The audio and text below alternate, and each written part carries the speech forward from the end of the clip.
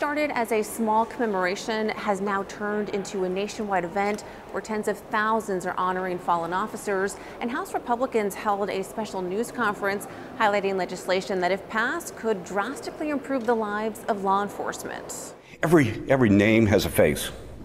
It has a story. It has a memory. It has a family that has been left behind. Patrick Yoes, the president of the National Fraternal Order of Police, says it's our responsibility to honor the fallen and support their families. We often take this, this cycle of life for granted. But let me tell you the reality of it. It's bought and paid for by a whole lot of men and women who suit up and show up every day in communities across this country and make a difference in the lives of those they serve. And House Republicans want to do just that. Republicans have and always will proudly back the blue. And these officers exemplify the American spirit. They are the best of us. But according to Sheriff Chad Bianco of Riverside, California, the rule of law has been eroded. And he says politics have simply got in the way. In this alternate universe, law enforcement officers are the bad guys, and criminals are somehow victims of society. To change this, those in Congress who previously worked in law enforcement have drafted legislation specifically looking to better the lives of officers. She would say, Be safe and come home to me. And I would say, Don't worry about me, worry about the other guy. Representative Clay Higgins said he was proud to wear a badge, but that it does come with a hefty price. It was very real as well, because we didn't know if I was coming home. And sometimes Officers leave for the night and they don't come home. These men and women show up for us every day, and now it is our turn to show up for them.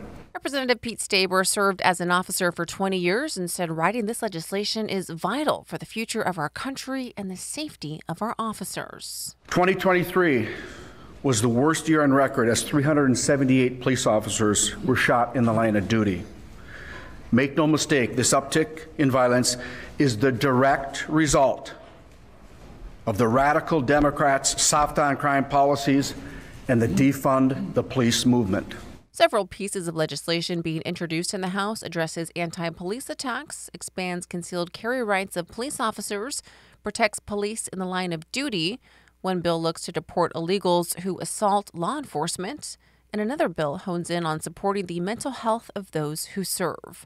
Representative Anthony D'Esposito criticized current policies in place which have harmed officers. And the anti police rhetoric that plagued many places like New York.